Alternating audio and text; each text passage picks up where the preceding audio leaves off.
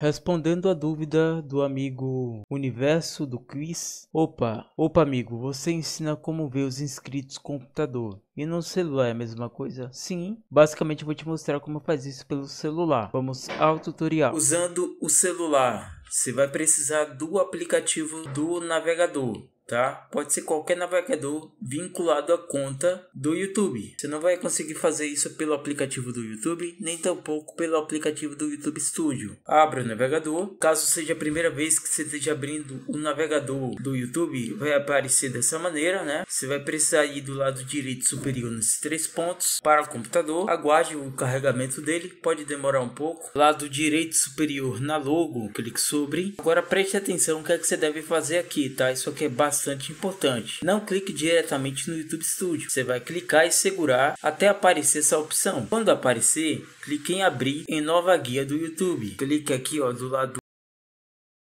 para trocar de guia e agora você já caiu no YouTube Studio. E aqui é o processo que a gente vai fazer. Olha, inscritos recentes, ver todos. Ele vai abrir essa tela com todos os seus inscritos. E aqui você pode dar zoom para poder visualizar todos os seus inscritos.